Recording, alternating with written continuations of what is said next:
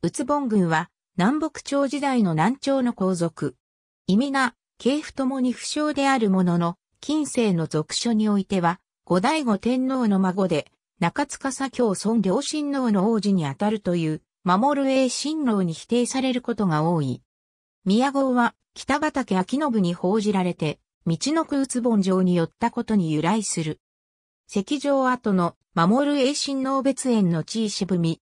落城時に縁を催した場所という広告4年、公営2年日立合戦の戦況が好転しない最中に吉野から下校し、5月日立石城の北畠、近房に迎え入れられた。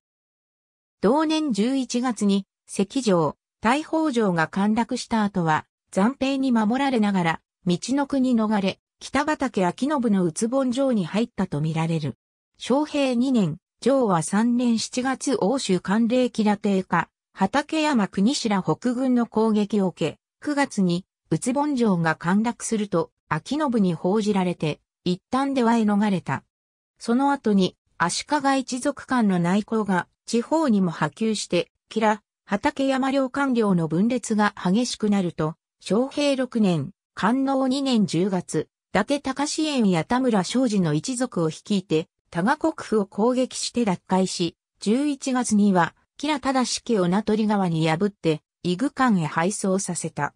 昌平7年、官能3年ウルー2月、高氏の塔を討たんとする秋信に報じられて、伊達軍へ出陣したが、3月その隙をついた、吉良忠行によって国府が、再び占領されたため、秋信と共に、三沢城から大波城へ逃れ、やがて、宇津本城に籠城する。以来一年猶予に及ぶ、定家との攻防戦を経て、翌昌平八年、文が2年5月に宇津本城が陥落すると、秋信、守親事故に報じられて再び出羽へ逃れた。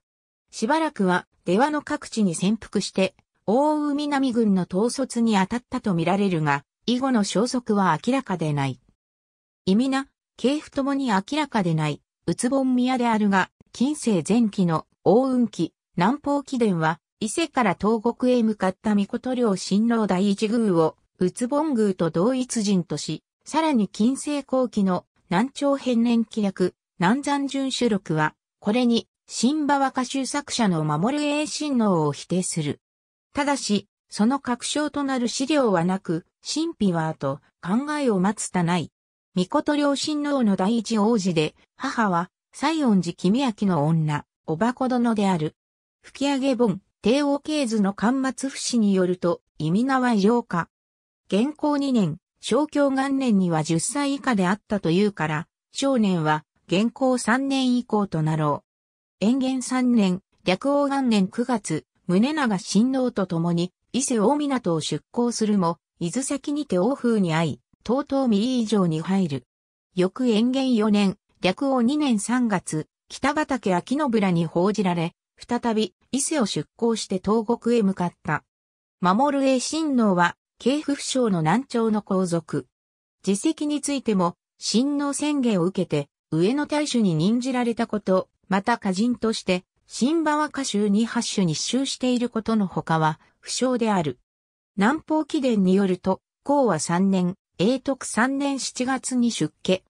なお、鎌倉大蔵氏には、永徳年間の後に、南朝防宮が、日体一族と共に、信濃波合で討ち死にしたことが見えるが、関西優は、笹宗厚の著書、重畜筆記に見える徳川家の秘説なるものを引用して、この防具を守る栄新郎に否定している。ありがとうございます。